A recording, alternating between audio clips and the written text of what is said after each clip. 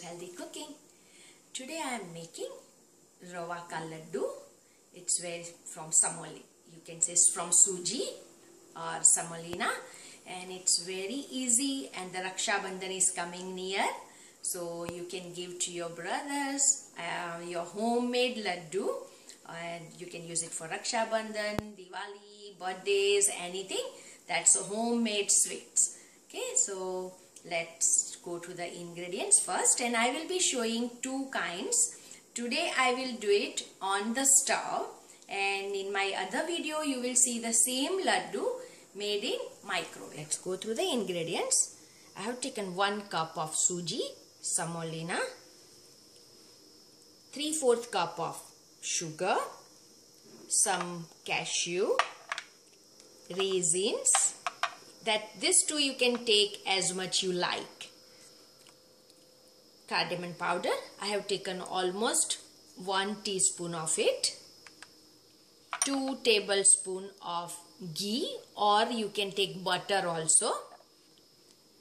1 4th cup of milk. I have taken, you can take your plain milk if you want. I am taking almond milk. But you can always use your plain milk too and so my recipes are for the vegans also. Okay? And some one fourth cup of shredded coconut. Or you can get take dry coconut. That's both thing works in it. Okay? So now can we start it? Now what first what we have to do is i'm taking my ghee. Actually sometimes i take butter too but today i don't have unsalted butter I have salted butter so I am taking ghee. Generally I prefer butter. Okay so this is it. And when it becomes little hot that time add your cashew and just make it little roasted little bit. Okay so my this ghee has become hot now. And roast it. Make it little pinkish see my cashew has become pinkish. You see this? Now I will take it out in the same ball of my ghee. Okay. So remove it. Okay. And in the same ghee roast rava okay. So this is rava ghee. Now roast it on the slow flame and make it little you have you can always I always try this way that it has become crispy or not. So we have to make it little roast it little bit.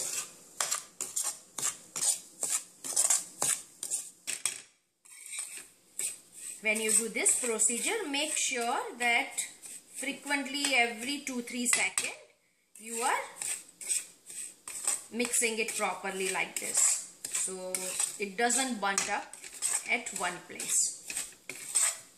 Okay. now you see that our rava has changed its color. It has become little light pinkish. And if you need you can add one or one one teaspoon or one and a half teaspoon of oil or butter uh, sorry uh, ghee or a butter you can add. But since I like less of that things so I always take less butter or ghee. But you can always add one or two teaspoon of more if you want. For me it is fine. Okay now this is the time we are adding our coconut now. Okay after adding the coconut again roast it for about another minute but make sure it should be on a low flame okay? Now along with that I am adding my cashew too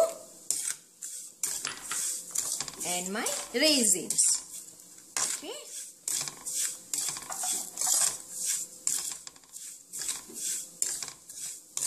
Now I'm adding my sugar okay? Mix it well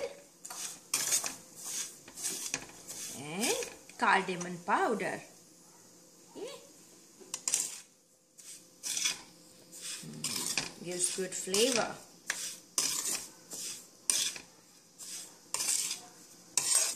So after about a minute, mixing all the ingredients, go on adding milk little bit. Not all at a time, Make sure again it should be a very slow flame. Okay. So I have added 1 4th cup of milk and that is my almond milk and you can take a regular milk too. So vegan people, you can also make it. Okay. Okay, so now I see it is the right consistency. Put off your stove. Okay, put off your flame now. Now allow it to cool. We don't want to make it too very cool. Let it be that way little lukewarm type. So you can make, give a laddu shape. Okay, so I am allowing for about 8 to 10 minutes to settle it down to cooling. Okay. okay. So to allow it to cool down quickly, I'll remove it in another plate. Okay.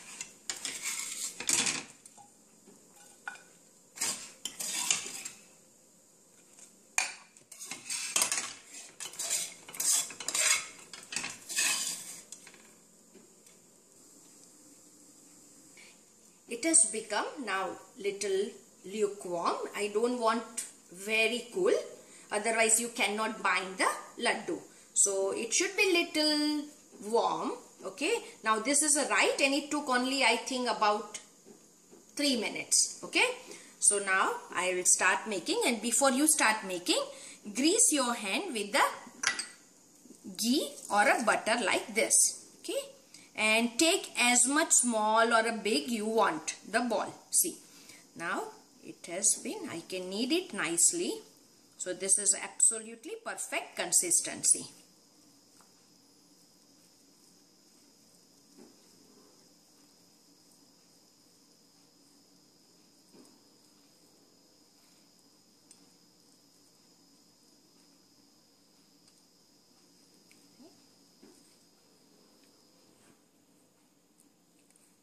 And if you feel it has it's little dry go on adding when when you are binding it go on adding some one teaspoon of milk. Okay so you can bind properly. But for me this is right. And you have to bind it very press it thoroughly so it doesn't break your laddu doesn't break. Okay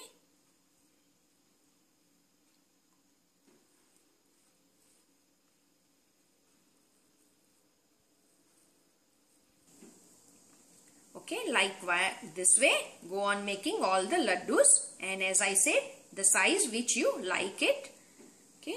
And I am adding about 1 teaspoon of just 1 teaspoon you see 1 teaspoon of milk here because I it has become little dry. So I'll just go on binding it now okay perfect. So my almost all the laddus are done. And whenever you make laddu always keep one knife with you or any point. You can take something like butter knife also. And you can always scrape this in your plate from your hand and go on making it. And as I said if you when the time goes it becomes dry. So that time you can go on adding half a teaspoon of milk to bind it. Okay So I am almost done.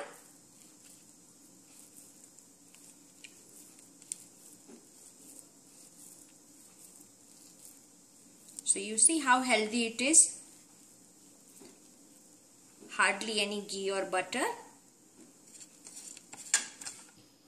So in this size, from 1 cup of suji, I have made 15 laddus. But according to your size, if it is a bigger you can make according to your size smaller or bigger.